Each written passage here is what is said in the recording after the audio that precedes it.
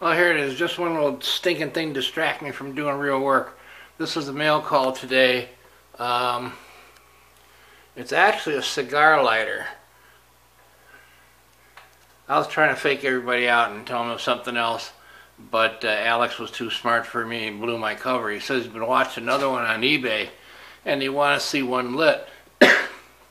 this one uh, didn't come with a globe and the, the guy that was selling it had no idea what it was. Um, I made up a real quick globe tonight with uh, an old bottle I had, uh, buzzed some holes in it with the uh, diamond saws, and it seems to work pretty good. So this is uh, a cigar lighter. This is how the gentleman would do it in the old days.